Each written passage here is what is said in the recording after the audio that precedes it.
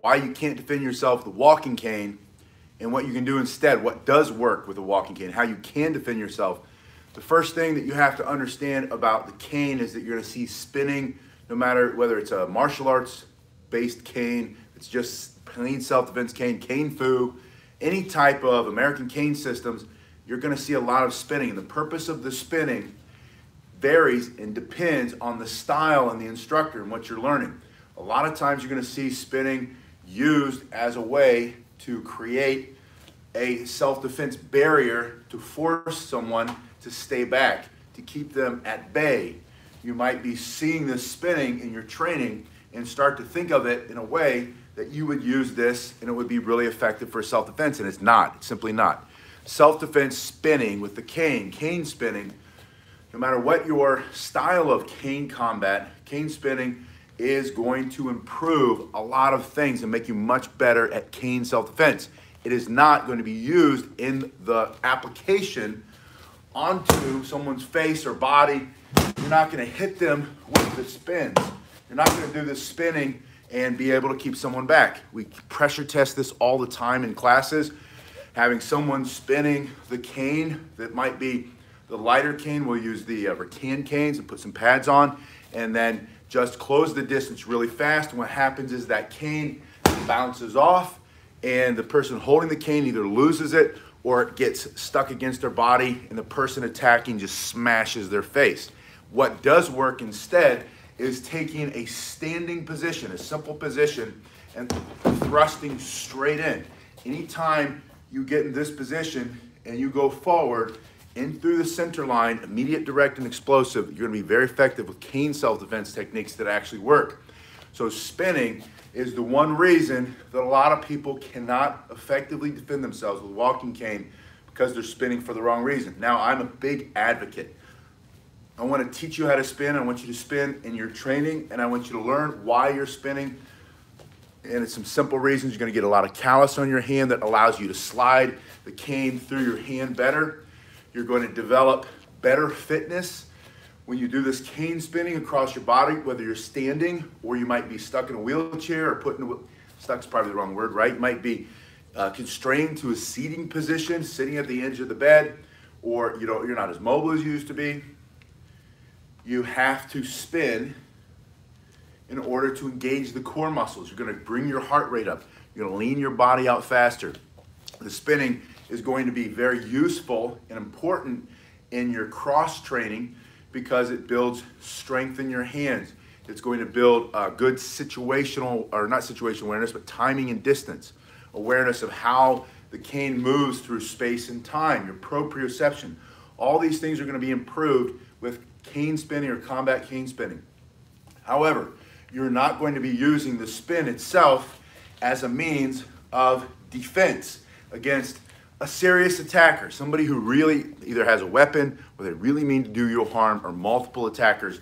The worst thing you can do is start to spin, thinking that that is going to be like a blade on an airplane. Nobody wants to walk into that. It's not the same thing. It's not going to um, it's not going to stop somebody the way you think it is. Yeah, body awareness, Garen says. Hello, Matthew. It's good to see you. Uh, Matthew, I was thinking of you. Matthew works with a cane, one hand for um, keep himself upright and mobile to move around with. He walks with the cane. The other hand, he's got the cane that he uses for self-defense. That's another perfect application of the spin. Holding one cane, working on your balance, working on your coordination, being able to move, and the other cane, that's going to improve your overall fitness. However, if you now have to get into a defensive position, it's better to just stand and wait. And immediately, as soon as the threat is determined, because you have situational awareness, as soon as you know you have to defend yourself, then commit to that thrust through the eyes, the nose, the throat, the face, anything that is softer than the tip of your cane. If you can go in and strike with even just a little bit of force. And you don't need a lot because the wood against the nose, the face, the throat, the solar plexus, the groin, the part between the belly button and the privates coming straight in, that's going to do uh, the damage. It's going to start to create distance between you and the attack. After that, you can bring it into your shoulder and come forward with a hard strike. striking this way is much more powerful because you have a better grip than you would on the cane spin. If you're spinning like this, it's a good way to lose your cane, to run into something, and you can practice. You can see how much that bounces back and comes toward me because I have to have my hand more relaxed when I do the spin. If instead I'm holding like this, I can then turn my shoulders and hips, my body, I can keep it in a straight line between me and the threat and strike with a lot of force, doing a lot of damage using the hard piece of this hickory cane. Now, if you need a great self-defense cane, you can't beat Cane Masters. That's the first link below. Even, and if you want to use any other cane, just go to the Cane Masters website and get the dimensions and see what it is that works for you. You're going to find that these are not that expensive, especially this cane. All right, now, the second reason why you can't defend yourself with a walking cane, and what I want you to do instead is that your techniques are too complex, they're too complicated.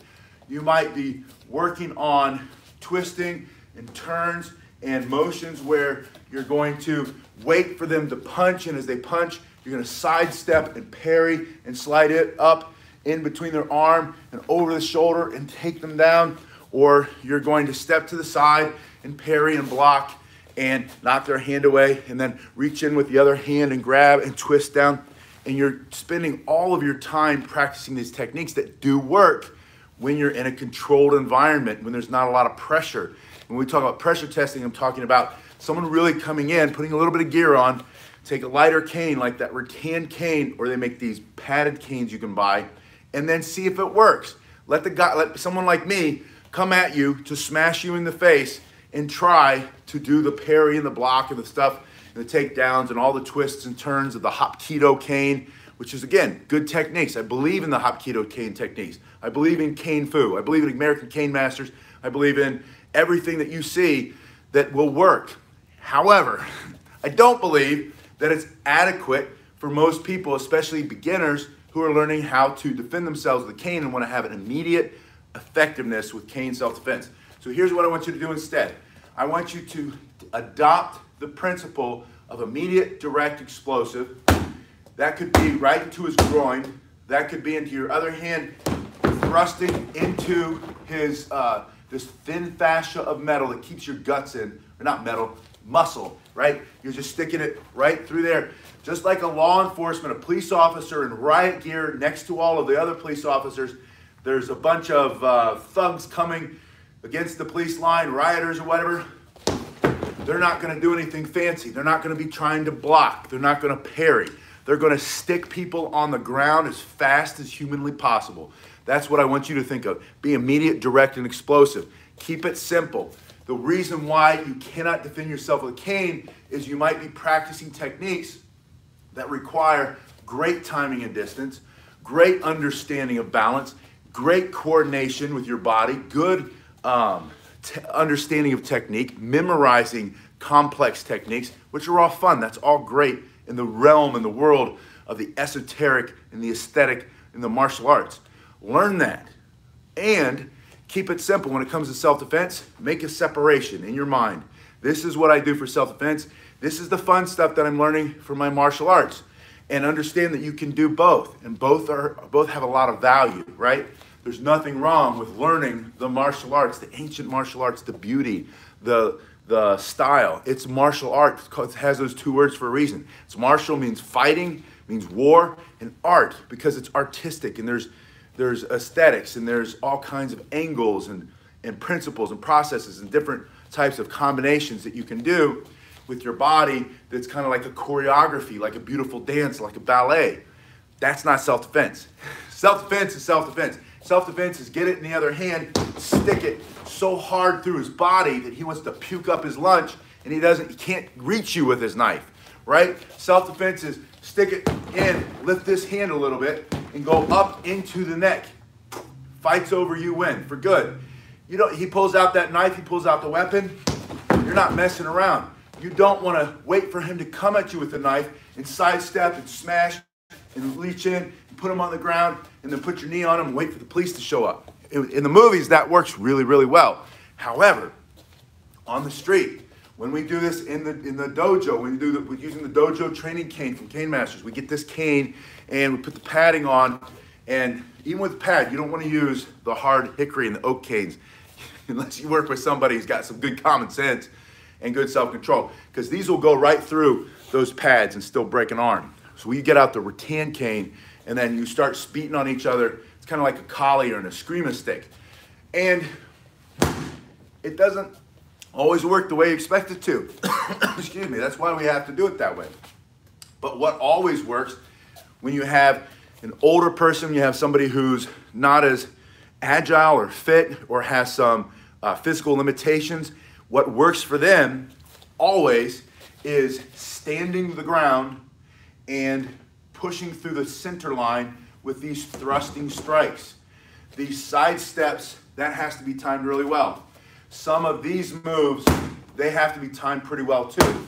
Even if you come through the shoulder, that's more effective. I like these strikes better than this kind of a strike coming off of the shoulder. Come from here and you're gonna hit harder. But what really works is just directly in, and then if you can step in at the same, same time, you take all of the weight of your body and you concentrate it and stick it right through there. Make sure you have a good grip with two hands and drive in through the other side of their body. I like to imagine that I'm trying to reach in and to feel their soul with the tip of my stick as I go through their body for self-defense. And that's how I want you to practice. Keep it super simple. The reason why most people cannot defend themselves with a cane is they are learning these uh, kung fu based hapkido, which is just another word for jujitsu, jujitsu, uh, small circle, circle based techniques that again do work really, really well if you have somebody who's feeding you the right kind of punch. It's just like kali sticks, just like fighting with knives. Uh, it looks really, really good as long as they're following, they're coming at you at the right angles, right? You get somebody in there who's a little hyper, a little whatever, or, or doesn't believe in it, doesn't want to drink the Kool-Aid, and they start coming at you for real, or they have some real experience with it, it all falls apart. And this is what a lot of people won't tell you. But um, it's just it's just a fact of life. That's in the. But I want to tell you this because I want you to be safe. I don't want you to drink the Kool Aid. I'm not selling any Kool Aid. I'm not going to drink it. I don't want you to drink it. Don't just believe that every technique works because the guy doing it can do it so well, and he can, you know, get the little stuff going, or you know, the, all the hapkido stuff or the aikido stuff. All that stuff again works really well in a controlled environment. Stress test it put somebody in there who really means to hurt you or at least put you on your heels so that you have to make sure it works. And it doesn't work half the time when you're doing all of this twisting and turning and trying to slide it in. And I know maybe you haven't seen it before, but you watch enough of these videos from other instructors, not criticizing any other instructors, by the way, because we all do the same thing. But it just isn't practical. It doesn't work. And it does. It works in the right environment. You know, I can take it, I can twist it, I can get it behind your back, you can throw a kick. I can block it. I block it this way, hook it up between your leg. I can twist you and put you on the ground. And that doesn't mean that those techniques never work. That just means that you have to do it over and over and over and over again. You have to have impeccable timing. You have to be in fantastic shape. If you're using a cane for mobility, that might not be true for you. You might be moving in that direction. You'll become physically stronger, better, better timing. But in the meantime, learn how to snatch it up between his legs, get it in the other hand, go through the center of his body, bring it to your shoulder, strike across his temple, pull it into your chest, blast him through the face, and then use that big nasty tooth to rip some of the skin straight off of his face. I just realized I was way back there. I want you to see this just a little bit closer. Right? The first one is just a turn of the wrist. This is what I want you to do instead you cannot defend yourself with a walking cane if it's too complex. If it's all based on twists and turns and side steps and fancy dancy moves. Again, that doesn't mean don't learn it. Learn that for sure. If that's something that interests you, learn it. You'll be better no matter what. When it comes to real life, life or death, he's got a gun, he's got a knife. If he's got a gun, you're in trouble. If he's got a knife, you're in trouble. But let's say there's two or three of them. No matter what, you'd rather have something than nothing, right? Snatch that up between his legs.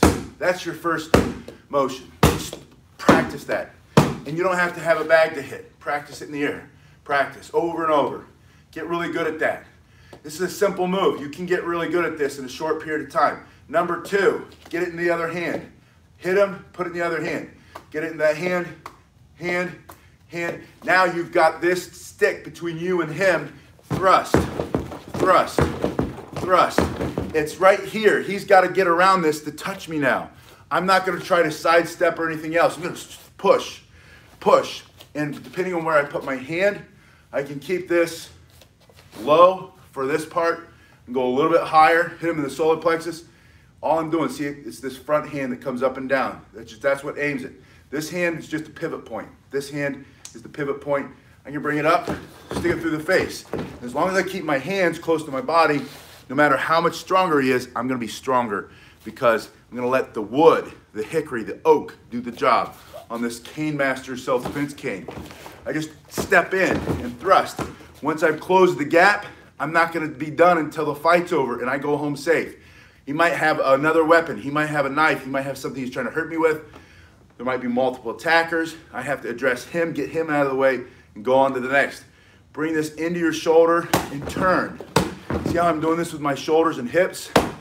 This hard piece of wood against his temple, his jaw, his ear, his neck, it's either gonna knock him out or it's going to at least stun him enough that it's gonna stop his attack. You stop his forward motion, stop his attack. From here, pull it to your chest, and then just think about what this is. It's like you're doing push-ups. This hard bar of hard oak, right? Or hickory, whatever yours is made out of. Just into his teeth, into his nose, into his eyes, into his jaw, into his neck, into his chest.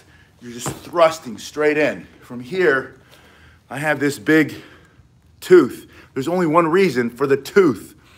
Well, there's more than one reason. One, it it's functional for fit, or for um, for mobility, but after that, for self-defense, it's designed to rake, right? Skin, flesh, muscle, gristle, bone, teeth, right out of their mouth, whatever you want to call it. And you're already in this position. You just hit him here to stop him. It's self-defense.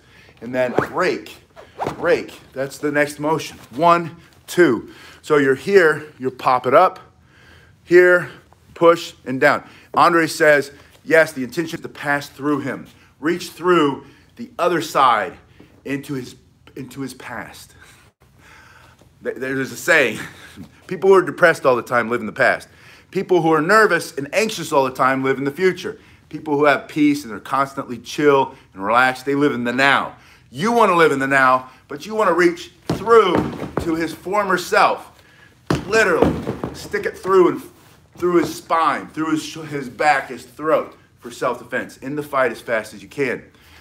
And that's just super simple techniques. So the reason that a lot of people cannot use a cane for self-defense is they make it too complex, they learn complex things, and they get frustrated, and if they continue to train, they get better, and they get better, and they get better, and they get better, but they're never stress tested, they're never pressure tested. No one is ever coming at them with a bunch of gear on and, and trying to take their cane away from them and smack them a couple times and teach them a lesson. If, if that's you, change. Do what works. Do this instead. Learn how to keep it simple. Stick it in his groin. Stick it in his midsection, right? Stick it right through his solar plexus. Stick it in the throat. Stick it in the face. Smash him right into the temple. Go into the neck. Go into that upper arm. Go into a rib. Break a leg. Pull it in. Blast right through the middle. From here, rake. Rip something off of his body or his face. Police will be able to identify him because he's missing half of the side of his face. His eye came off. His nose came for self-defense. It's pretty gruesome. But that's the kind of stuff that works because it's practical and it's simple. You have to ask yourself, do you, do you want to learn theory or principles? Do you want to learn techniques that are fancy and super cool? Or principles? Principles of self-defense will save your life. Techniques will get you hurt or killed. Principles are things like situational awareness, pay attention. Number two, get into a better position, put the stick between you and the threat. Look at all that distance I just created between the two of us. Number three, ask yourself, what targets can I remove or destroy for self-defense? His eyesight, his ability to see me or breathe temporarily or permanently, his ability to hear or stand up straight, his ability to have his balance, because I boxed him in the ears or smashed his ear in, or smashed him in the neck, for, all for self defense. Those are the principles of self defense. And then finally, close with and destroy, violence of action. Take everything into the end of your cane and smash, smash, smash. Right, so Matthew says he wants to keep it simple yet practical. That's all this is about. It works. Cane self defense is extremely effective. It's my favorite self defense tool because you can take it everywhere you go because the Americans with Disabilities Act says you can take it anywhere. It's a mobility device. And even this, this Cane Master self-defense cane, if you go to the link below, you'll see at the end of this, one of these canes, there's all kinds of different canes there, but you'll see this basic, basic cane, which is about 40 bucks. I'm not sure what the current price is. It's, if you check the link, it's in there. But there's also, oh, and, in, in the Carex canes, they keep selling a lot of these Carex canes. Carex, you know, that's the one you get like at CVS or you get it on Amazon. It's like 10 bucks, but they break so easily. I stopped selling them because of that. One of these costs as much as four of the cheap canes, but you're gonna break four canes in the first three months that you have one of these. You'll have one of these for about four years before it ever uses it, loses its usefulness. So uh, how many how many garbage canes is that? How many Carex canes is that? I don't know. You're spending a hundred, couple hundred bucks just to save 40 bucks. So bite the bullet. If you're serious about cane self-defense, get a Cane Masters cane. You can't get a better cane than the Cane Masters cane. First link below. But also on there, there's a card that tells you those two laws. It words it for you. So you don't have to come up with your own words. You just pull it out of your wallet or your purse, and it says, look, I'm allowed to carry this because the Americans with Disability Act. You're not allowed to question me on my right to carry it because of my privacy of, of health information, my Health Information Privacy Act, the HIPAA Act, HIPAA laws, or whatever. But that's all in there. And again, don't take my word for it. Go to the first link below, read it for yourself, and then either buy the car, just copy it down, stick it in your wallet, and then you're golden. You guys have been awesome. I got to go teach a private lesson for two hours. I'll see you in a little bit.